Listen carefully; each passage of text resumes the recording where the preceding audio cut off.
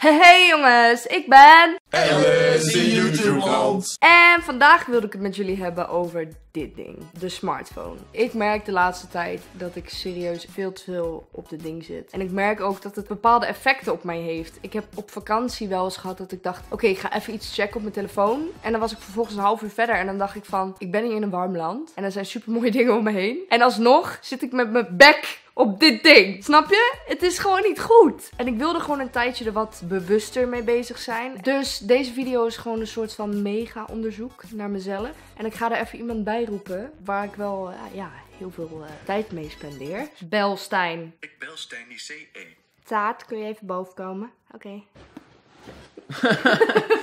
ik wilde vragen wat je vindt van mijn obsessieve telefoongedrag. Met je telefoon is dat zo als je het pakt, dan eh, pak je het even. Maar dat even verandert dan heel lange tijd. Dan voor je het weet ben je al een kwartier verder. Op een gegeven moment eh, hebben wij geen contact meer met elkaar. Eigenlijk meer via de telefoon. Maar Terwijl- ik- nu doe je net alsof ik je app als je Nee, met, nee, nee, ik bedoel altijd s'avonds gewoon. Dan zeggen we altijd, ja, om tien uur of zo dan eh, doen we de telefoon weg. Nou, dat zouden we dan moeten doen. Maar dan kijk je toch weer even. En dan blijf je toch weer leuke dingen zien. En dan voor je het weet is het half elf. Voor je het weet is het zelfs elf uur. En dan hebben we al eigenlijk met elkaar gepraat. Op een gegeven moment zeggen we, maar ja, nu moeten we wel slapen. Omdat we voor, vroeg op moeten. En dan hebben we eigenlijk weinig contact gehad. Door de telefoon. En je doet het ook onbewust, zeg maar soms gewoon als je bij familie zit of zo, dan kijk je toch even. En dan voor je het weet is je vijf of tien minuutjes even op je telefoon, terwijl je gewoon onder familie bent. Ja. Maar jij zegt dan ook vaak tegen mij, Ellen, doe je telefoon weg. En dan denk ik, oh, zo lang zat ik er toch niet op. En dan zet jij van, ja, maar, Ja, het toch, je bent toch een kwartier Maar jij verder. ziet niet wat om je heen gebeurt, want ik zie wel om me heen dat bijvoorbeeld iemand kijkt en die graag wel een gesprek wil starten, maar dat is niet, ja, niet echt leuk met iemand die op de telefoon zit. Waarom denk je dat jij er wel mee om kan gaan en ik niet? Nou, omdat ik sowieso niet heel veel heb met social media. Het liefst zou ik s'avonds als we ja, samen in bed liggen, zou ik echt geen telefoon hebben. Dat kun jij niet. Dus je denkt dat ik niet een week zonder mijn telefoon zou kunnen? Denk het wel, maar ik denk dat je wel ook echt wel blij bent als je dan weer mag eh, kijken. Ik wilde nog iets vragen, maar ik weet het even niet meer. Dat je van me houdt. Ja, ik hou heel veel van Ah, jou. Het is super lekker weer, zoals je kan zien. En ik ga naar de waterkant, maar ik dacht, ik laat mijn telefoon thuis. Want A, als ik straks ga zwemmen en mijn telefoon ligt er nog, zou die gestolen kunnen worden. En dat zou ik best wel erg vinden. En twee, en B bedoel ik, ik wil gewoon daar even chillen. En niet op mijn telefoon kijken. Ik heb een boek mee, ik heb een vriend mee, ik vermaak me wel. Maar ik moet heel eerlijk zeggen dat ik toch denk van, ah, mijn telefoon niet mee, dat is toch... Het voelt een soort van onnatuurlijk. Ik ben gisteren teruggekomen van... Auw.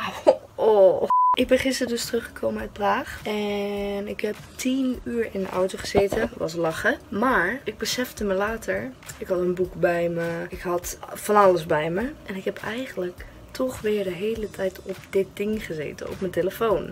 Ik had een boekje kunnen lezen. Ik had van het uitzicht kunnen genieten. Ik heb ook wel van het uitzicht genoten. Oeh. Maar niet zoveel als ik had gekund, denk ik. Plus, ik had ook gewoon even een dutje kunnen doen. Ook niet gedaan. Continu met Ik merkte gewoon dat ik er zenuwachtig van werd. En dat heb ik de laatste tijd steeds vaker. Dat is toch belachelijk eigenlijk. En ik merk ook bijvoorbeeld dat als ik ergens ben, dat ik dan echt mijn telefoon in mijn tas moet doen. Als hij in het zicht is, dan ben ik toch telkens weer geneigd om erop te kijken. Ik was gisteren uit eten. En altijd als ik uit eten ben, heb ik zeg maar de neiging om zo'n update te doen. Van, oh kijk, dit ben ik aan het eten. Oh, ik ben hier. Oeh. En gisteren dacht ik, ja, wat als ik dat nou gewoon een keer niet doe? Want wat voegt het nou toe? Waarom moet ik dat doen? Wie zit er op te wachten? Niemand. Dus ik heb het niet gedaan. Toen heb ik mijn telefoon in mijn zak gedaan. Want ik ben dus deze vakantie ook tot de ontdekking gekomen. Als de telefoon op tafel ligt, dan moet ik erop kijken. En tijdens het eten werd ik af en toe ook een soort van onrustig. Omdat ik dacht, hé, hey, ik moet even mijn telefoon pakken. Dat is toch bizar dat ik dat zo gewend ben en denk dat dat moet. Nu ik er echt op eh, begin te letten, is het echt best wel bizar dat ik blijkbaar dus echt wel zo verslaafd ben. En ik dacht altijd dat het niet zo erg was, maar dat is het dus wel. Ik schaam me wel. Nou wil ik jullie ook even iets vertellen over mijn moeder. Zij is 62 lentes jong en heeft nog nooit een mobieltje gehad. Denk je dat ik verslaafd ben aan mijn telefoon? Een beetje. Een beetje? Je moet je niet inhouden omdat de camera nu op je staat. Nee, je bent verslaafd. Vind je dat vervelend? Ja, Wat vind je zelf van de, iedereen met zijn telefoon? verschrikkelijk. Waarom vind je het verschrikkelijk? Om- ah, Je kan niet op straat lopen of in de supermarkt of in een restaurant zitten. Iedereen zit... Nee, Je hebt zelf nog nooit een mobieltje gehad, toch? nog nooit. Nog nooit. Ook nooit gedacht van, oh, ik ga er een Nee, keertje nooit. aanschaffen.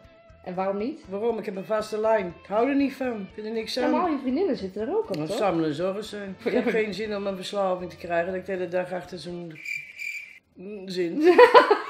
Maar wat denk je nou dat alle jongeren en alle, nou eigenlijk gewoon iedereen met die telefoons de hele dag aan het doen is? Eh, Lullen met elkaar en spelletjes en elkaar dingen toezenden. Voor de rest weet ik het ook niet. Je ziet wel het nut in van het internet, alleen niet het nut waarom iedereen dag en nacht dat ding nee, moet dat is belachelijk. Want zeg maar vijf, tien jaar geleden was het internet ook wel tof en zo, maar dan had niet iedereen het altijd maar in de hand. Of bij zich, weet nee, je wel. natuurlijk niet. Stel dat ze de telefoon zouden kunnen afschaffen. Weg ermee. Ja? Ja, nou is het ineens, oh Aniet, je moet een telefoon hebben. Want als je onderweg bent en er gebeurt wat. Dat kwam vroeger ook niet, want daar had je ook geen telefoon bij als er wat gebeurde. Toen ik 15 was, had ik ook een telefoon, maar dan kon ik alleen sms'en en bellen. Ja, Dat was toch ook gewoon prima? Dat zou wel iets. Maar nu, nu denk ik, als mijn batterij bijna leeg is, denk ik, oh shit. Dan raken de mensen al in paniek. Ik wil geen paniek, ik heb al genoeg paniek in mijn leven.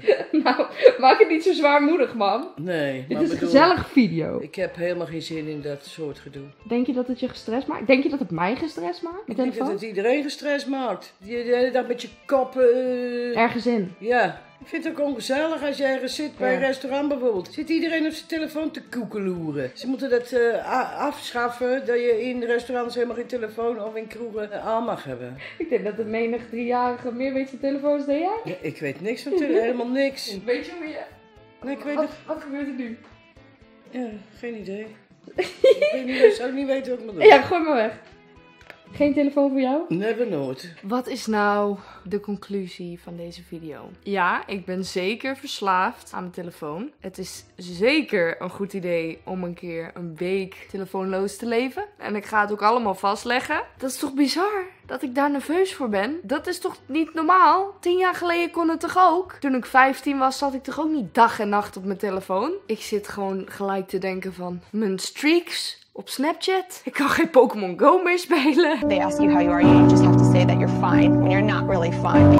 I'm addicted. Ik heb het nooit willen toegeven, maar ik ben het echt. Het is echt vreselijk. Nu vroeg ik me dus wel af, waren er dingen in deze video waarin jullie jezelf herkenden? Zijn jullie ook een beetje verslaafd, net als ik? Of kunnen jullie er beter mee omgaan? Laat me hier in de reacties weten. Als jullie nog tips voor me hebben, laat het dan zeker ook hier in de reacties weten. Vonden jullie dit een leuke video? Geef hem dan zeker een duimpje om- omhoog. ik kan niet meer praten. Als je me wil volgen op social media, dat kan. Mijn eh stuff staat nu in beeld. Dan ga ik dus binnenkort een week zonder telefoon leven. Ik ben heel benieuwd hoe dat gaat. Waarom gaat alles via die telefoon? Hoe deden ze dat vroeger? Als ze elkaar wilden opzoeken. Dan gingen ze gewoon naar elkaars grot. En dan hoopten ze maar dat ze thuis waren. Gisteren vond ik het echt vervelend dat ik hem niet had. Ik wilde hem echt hebben.